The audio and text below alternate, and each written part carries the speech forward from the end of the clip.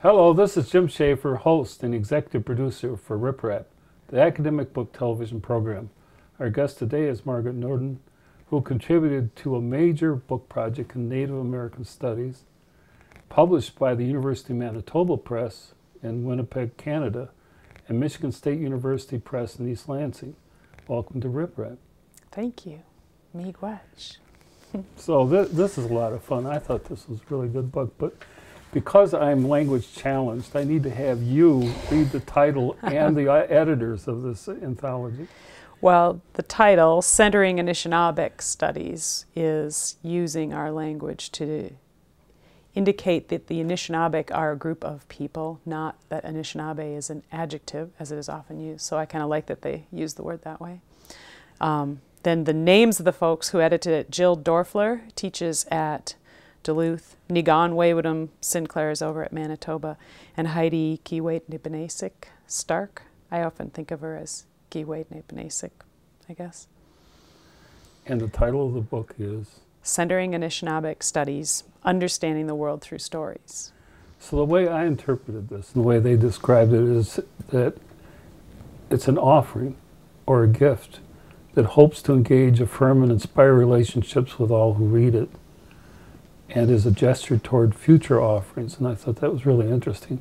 This is easily one of the best books I've seen, I think, in Native studies. Not that I'm an expert on it, but you know, I've been following it since I interviewed Phil Deloria in his book, and Mm-hmm. it, these books are starting to get some real heft to them now. Um, but apparently, it emerged at the 2008 American Indian and Indi- Indigenous Studies Conference.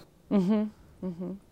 I think that it's partly following on a number of different gatherings where people have been working to balance both national interests, so wanting to define their identity as a nation or as a geographical group, as a language group, a cultural group, but then also to be in conversation with other groups. So you'll see a lot of books, a lot of conversations about that kind of tension between focusing on one nation and then focusing on Native studies as a whole. And how did you get involved with this? Mostly through the literature and, and language. So I typically attend the gatherings annually where Native scholars get together and study literature, study language. Locally, we have a lot of things that are, they're all Anishinaabeg. So we have conferences that are just all our language, all our stories. And sometimes when we get together in a more national setting, we are really inspired by how many different groups now have people writing both in their language and in English about their own culture in a way that can be comparative and be useful, not just insular and focused only on the culture, but really in a way to compare across nations. So, where are the uh, Anishinaabe people located? I, not everyone knows this. Yeah, I usually tell people you think of the Great Lakes and then you just draw a big, roughly 600, maybe 800, depending on which period of history you're in, um, 800 mile circle around the Great Lakes. And that's very vague and it's very general. And at any given point in history, you could trace exact nations or exact patterns of movement. Um, over time, even just the idea of what's a nation, what's a reservation, what's in Canada called a, a, First Nation reserve, that's changed and shifted, but it's still, you will have on the far western edge of the Great Lakes, on the southern edge around, on the east and in the north, you'll have the same language group, same stories, and it's fun to compare how they can be different but still similar. Aren't they known as the water people? They are, yeah, as definitely the lakes people, lakes and rivers and, and woodland. I mean, you will often hear the woodland people repeatedly. Yeah. So, how did you get involved with the book? A lot of the people in here are scholars I would consider contemporary to me. Um, we have a number of scholars. I think of Jerry Vizenor, for example, as someone who, when I was growing up, he made it more common to say Anishinaabe instead of saying like Minnesota Chippewa. That's what we would use that term all the time. And the reservation names still are legally Minnesota Chippewa bands. Um, but he got people thinking about Anishinaabe. There was a long tradition, of course, then that gradually, I think, became uncovered. So, this group of people is really a number of authors who we were lucky enough to grow up sort of during and then study after AIM, which you can argue all kinds of politics about the merits and, and trials and challenges of the AIM movement, but certainly our civil rights struggles in the 70s made it possible for us to study our language, to write about our language. The Native Languages Act in the, the mid 90s made it possible for this to even happen. I grew up in Minneapolis, and so we saw all this happen, and we, I think a lot of us feel like we got a chance to do something our parents and definitely our grandparents couldn't do. And AIM is because not everyone knows right. that. Yes, I happen exactly. to, but yeah, yeah. We often try to explain uh, for anyone who was, I would say, in their teens and on up, who grew was around in the 70s. In America, of course, there were a lot of civil rights movements, and many times they overlapped and worked together. The American Indian Movement, also known as AIM, began out on the western side of the country uh, with Alcatraz, but then in the center part of the country in Minneapolis, where some of the original leaders were from, and you saw pieces being pulled back together. So, relocation, um, the boarding schools, there had been national movements that separated people, both from their original land, from their language, from each other. And with AIM, you saw them kind of pulling back together.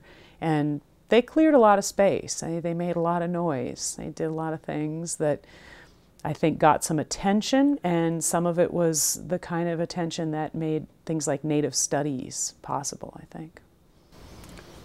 we had done a program with Moose Pamp Oh, yeah. talking about the pageants, Yeah. not for Riprap, but for an independent Mhm. study uh, thing, and it was qu- pretty interesting. Yeah, I can imagine. the Pamps, Pretty- that's, a, yeah. that's a, a family with some history there. Yeah. Because we went to uh, up north in the UP, Yeah. and he was in a. I've never seen so many state police cars at one place. really, there was like 20. Wow. Wow. In the UP, you're lucky if you Yeah, see really. That's like, and you know, and that's when they're doing the thing of sitting down during the national anthem. yeah. And um, so when that happened, they started arresting people and, Huh. and stuff and hauling them off. Yeah. It's a pretty impressive power thing. hmm But the the issue about language is really an important uh, thing, and that's what you talk about in this book. But um, there's one article I read that talked about this thing of taking away language, or you know, is Mhm. cultural genocide. But on the positive thing of teaching it and and getting it I, th- I think it's I think it's central to people knowing who they are and feeling that they can connect with each other and with history and even create a space for themselves. Um, um, I guess I think that the language is a way to create identity, to continue narrative that can do things other languages can't do. It doesn't mean one language is better than another. It doesn't mean people who write native novels in English aren't native. It just means when you do it in Anishinaabemowin or Paiute or Dene or Nimipu or whatever language might be your tradition, that you're able to do things. You're literally able to make sounds and juxtapositions and images that you just couldn't do in English. So it's just a matter of whether you're using watercolor or oil painting or it's just a different medium. But, but you have to practice with it. It has to be there. You can't take it for granted. You have to spend time learning in it. Um, being in that language, you become proficient and be able to do things that our elders could have done. Um, I think that's something over time people would use bits and pieces symbolically, and gradually we've gotten to where we use more and more of it. it can be a very difficult language to learn for someone who Mhm. speaks English as a native language. Mm-hmm. Um, as someone who teaches writing, that one of the biggest gaps is between English and certain other language families like Asian. But I think the Native American languages are like that because the concepts are so much different. Yeah, it it can be, and I've always of kind of two minds on that. So it is extremely complex, and I would never want to underestimate the richness and complexity of it. But then, you know, so is physics, so are fractals, so are many of the other things that we study and we have disciplines around. We have um, ways of creating new ways of understanding, of mapping the patterns within these things. So I tend to think that it is a little bit like physics. If you love it and you stay at it, then it will feel feel easy eventually. So you often tell those first year students that yes, this seems really hard now, but if it's what you want to do, it can be very rich and very, very rewarding. It's not something that has to remain a puzzle that's unknowable and so complicated that you just have to give up, which I think in some ways our languages got that kind of reputation. People felt if I don't just know it automatically, this should be my heritage, it should be easy, I should just know it. And they didn't really understand the work of learning it and really the pleasure of having done that work. Like anything else you want to do well, if you practice until it's instinctive, that's when you can get really creative with it. I read a book by a guy who speaks 25 languages. Wow. and the, when he started out, he was in Latin class, and the 1st mm day they spoke Latin. The 2nd mm-hmm. class is typical of American language instruction. They were doing grammar, mm-hmm. and it turned into a rather horrible experience. So he got his father to take him down to the docks in Seattle, Washington, mm. and they connected with a Chinese sailor to act as a mentor. And so the guy, as a result, learned Chinese before he learned Latin, which was basic to English. But the what he remarked is the way you start out with a language to learn it is to speak it mm-hmm. and mm-hmm. get someone as a mentor to show you how to say it and what basic functions, like you know what food is and mm-hmm. where to go to the bathroom and you know um, all those basic functions, and then start looking at the technical side of the grammar, you know, mm-hmm. dissecting it, and and that's how he had learned 25 languages, and I think it's a really valuable lesson. I think a major problem for a lot of people in this country is that they know maybe one language. And so they had, once you get past that barrier of the first language and you get into the second and third and fourth, then it becomes easier because you realize, well, this is how this language is different. Yeah. I think it's, um, I think I've come to realize that we're at a point historically where people can approach the language a couple of different ways. So if, if a family or community or group of people wants to have it be their vernacular language, they can construct an environment where it can be that. Um, you see different tribes doing this more and more. They have immersion classes, they have summer camps, they have parts of their heritage. Say the Pokagon band recently was reviving sugar bush tradition on their land, and they did a lot of that in the language. They had elders who knew the language visit, and so it became connected to a practice, and that's one way. But I think we also have people who are studying it to look back at history. So sometimes they want that kind of grammar, the very efficient approach where they want to say, show me how it works in terms of the mechanics and equations, and then that's their entree point.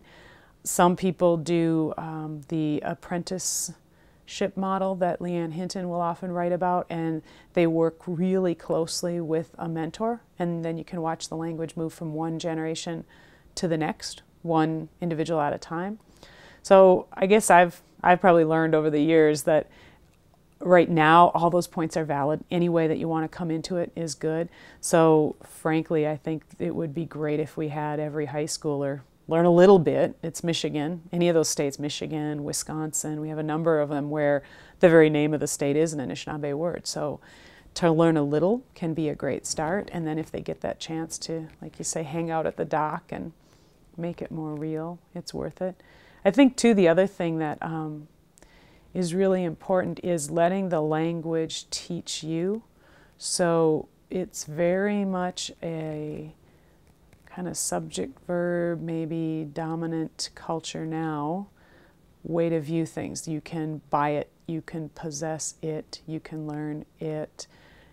And instead, if you let the language kind of teach you or sort of own you, you start thinking differently. And when I see students do that, then they just learn so much faster. So when you start actually making the connections about how a verb like debwemigut, which just means something is inherently true, how that moves to Debwe, I'm correct, or Gedebwe, you're right, to Debwe, I believe somebody, then you start seeing a different way to look at things and you learn exponentially faster if you just be open to different patterns and reorienting the world to verbs and how verbs construct relationships. But isn't that verb thing a particular characteristic? Mm-hmm. Yeah, absolutely. And when people get that, then it's like a little key or, or something where all of a sudden, you know, the sun sort of rises and centers on things a little bit different, which, you know, to get back to the title, Centering Anishinaabeg Studies, where, you know, maybe that's what this book is trying to do, to take those ways of knowing that are Anishinaabe and center those so that other things are just plain viewed in a slightly different light from a different angle, laid up against each other in a different way.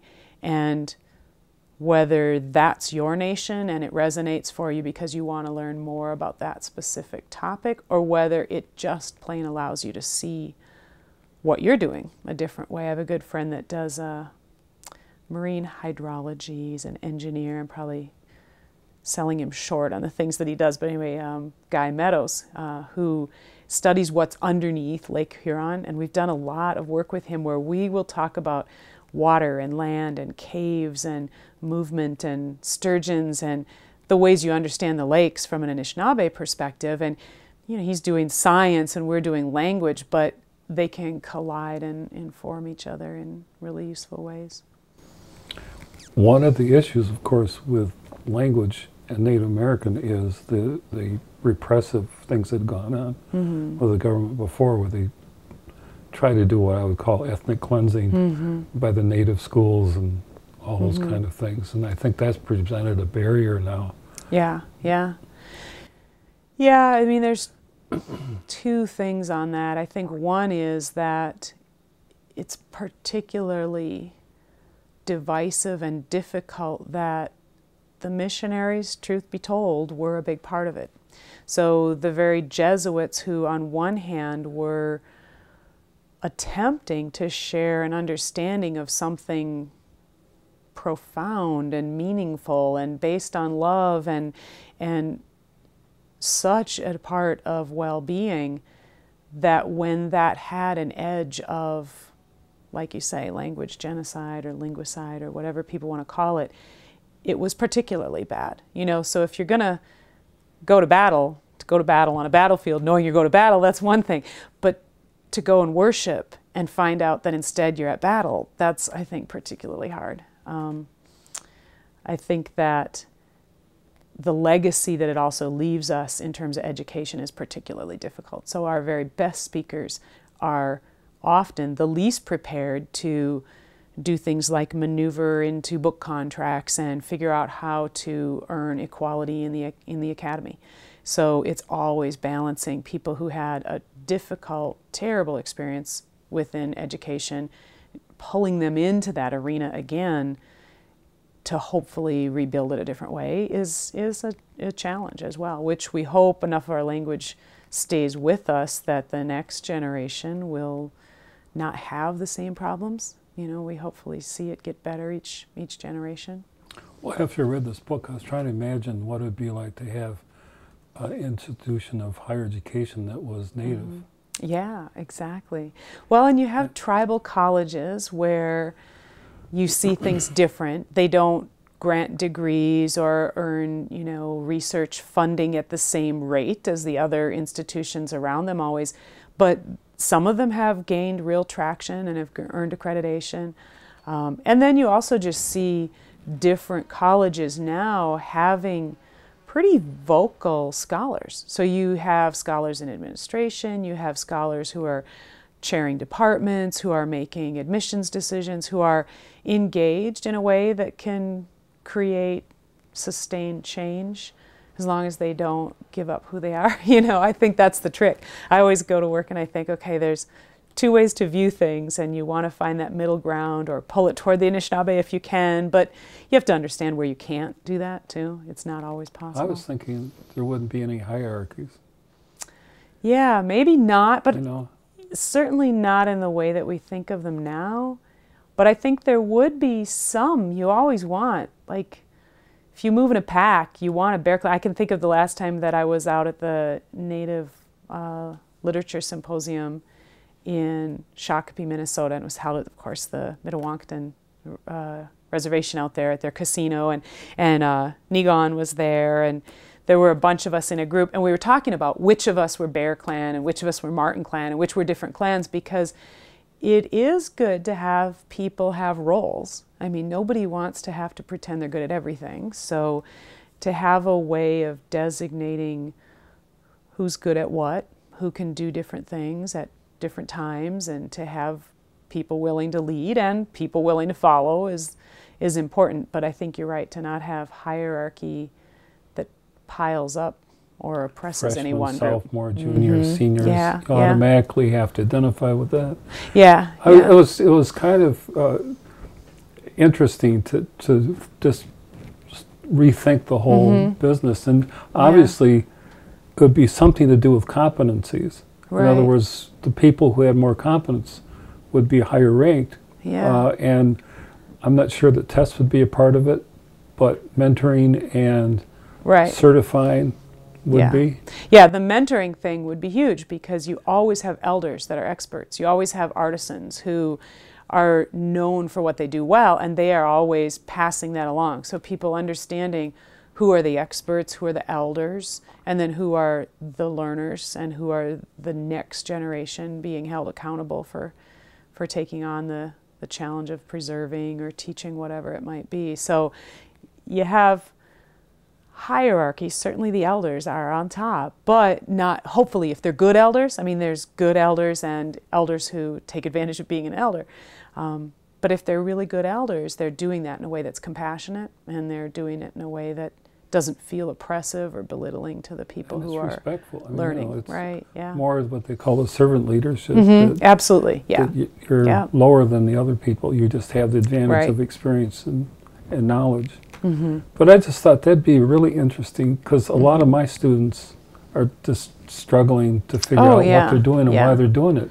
And they're not particularly identifying with it. right You know, Yeah. they're just going through the motions and they're thinking, boy, this is, I think that's true. Yeah, we were talking about that recently at the Ann Arbor Powwow. How many people there were understanding how the traditional dances balanced the competition and how the competition, broken out as it was by age, um, allowed for that kind of thing to happen. So you didn't have a sort of winner takes all vicious vote them off the island kind of scenario. You really had an understanding that there would be many people who won and then some people who danced and did the very same thing but for different reasons who weren't competing, who weren't wearing numbers and it was an interesting blend and it was nice to see everybody just sort of get together and be part of the circle moving forward even though they might have all had different agendas and reasons for being there.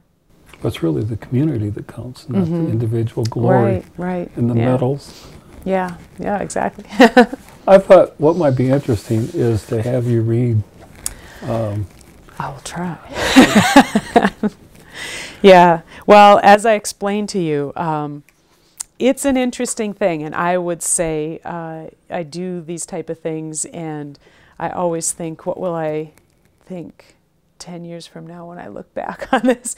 And certainly there was a time when I finished my PhD, and no one on my committee actually spoke the language, and even Jim Northrup, who I wrote about as part of my doctoral thesis in 2001 when I defended it, was not conversant in the language. And both of us have come a long way in our language since that time.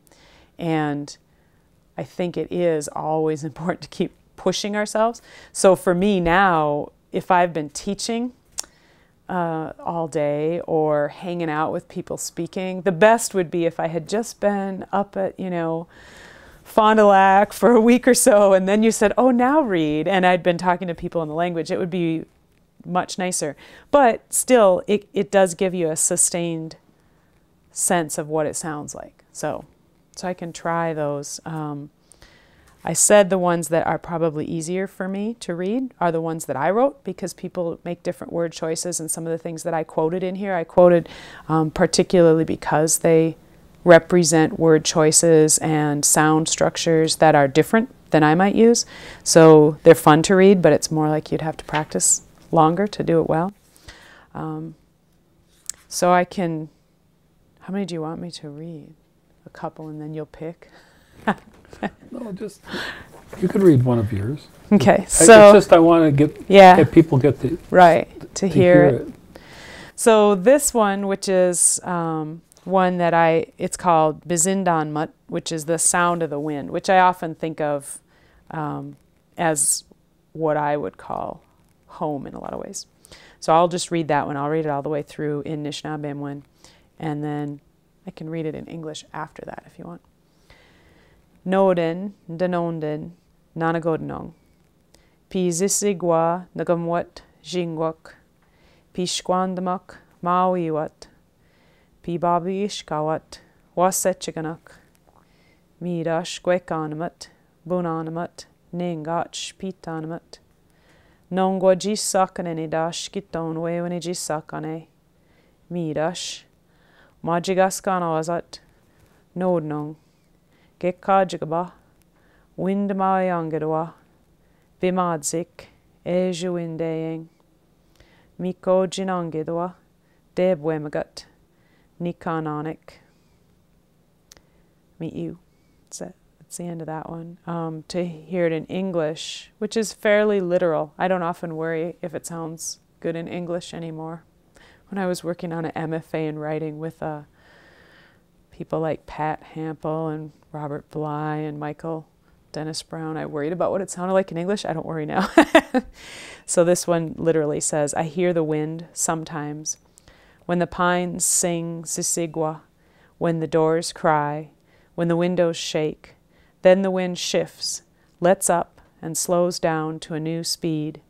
Now the tent shaker can carefully build his tent, and the wordless whispers begin in the wind.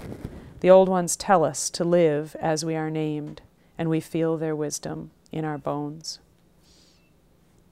Which is a good one to But the word for wind is Right, meaningful in itself. isn't it? Exactly, yeah. Giwednong.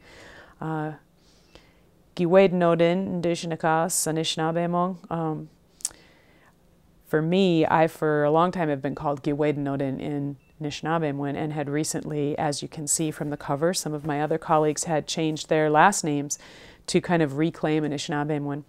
And so I recently did the same thing before doing more writing and had talked it over with my dad, who thought it was just a fun idea and a way to express something different about the place. Well, thank you for being on Riprap. Well, Miigwetchin, thank you as well.